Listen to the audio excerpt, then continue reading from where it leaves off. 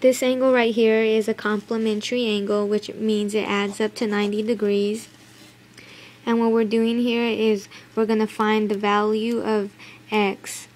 It says angle LMP, so LMP, this angle right here, and angle PMN, PMN, this angle right here are complementary angles. So it means if you plus both of these, add them both together, you get 90 degrees.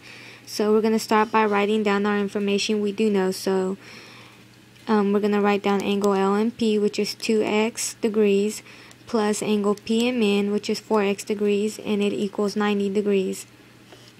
And then the first step we do is we combine like terms.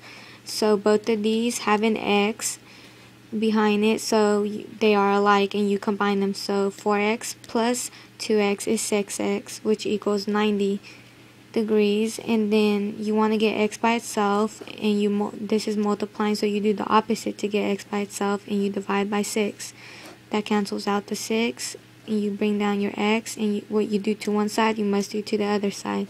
So you divide 90 by 6 and you get let me see and you get 15 so x equals 15, that you're done. You solved for your equation. But just in case you don't think it's correct, you want to make sure. So you remember the 2x from the beginning. You put the 2 and then you substitute 15 for x. You multiply them, which equals 30. And then you do the same to the other for the other angle 4 and instead of putting x you put 15 you multiply them and you get 60 and then when you add 30 and 60 you get 90 which means that that is correct. And at the end the only thing you have to write down on paper is that x equals 15 and you're done. You have just solved for x